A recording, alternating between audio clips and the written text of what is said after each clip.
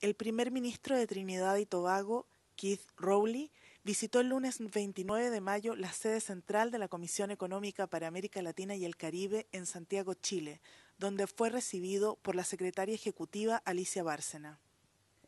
En la reunión, ambos personeros acordaron incrementar la cooperación y asistencia técnica bilateral, en especial en el área económica y energética. El primer ministro Rowley, quien se encuentra en visita oficial a Chile, estuvo acompañado por una delegación compuesta por los ministros de Relaciones Exteriores, Industria y Comercio, Energía e Industrias Energéticas y de la oficina del primer ministro de Trinidad y Tobago.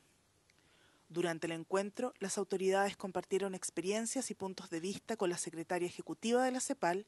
y los secretarios ejecutivos adjuntos del organismo, además de los directores de las divisiones de Desarrollo Económico, Comercio Internacional, Desarrollo Productivo y Empresarial, Recursos Naturales e Infraestructura y Estadística de esta Comisión Regional de las Naciones Unidas.